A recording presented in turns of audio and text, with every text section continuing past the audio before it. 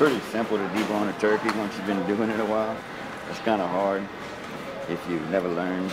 The Gourmet Butcher Block is a specialty Cajun meat market that's known for its variety of traditional local delicacies.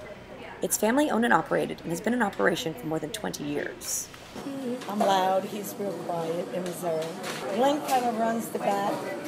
I take care of the selling in the front. Though they sell a multitude of Cajun classics, owners Glenn and Leah Mistich are known for their special connection to the original Cajun turducken.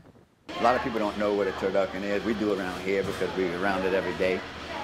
But a turducken is actually a deboned turkey stuffed with a deboned duck and a deboned chicken, and it has dressing in each bird. We put sausage stuffing in the turkey, sausage stuffing in the duck, and cornbread dressing in the chicken, and they all folded back up and stuffed inside each other with stuffing in each bird.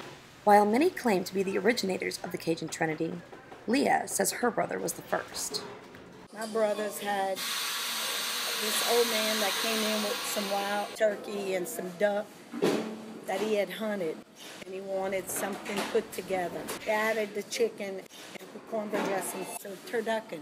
That's how it kind of came about. Now we're gonna fold each bird over. Continue sewing him up.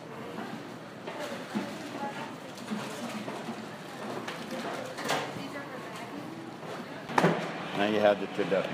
For Tiger TV, I'm Heather Heidman.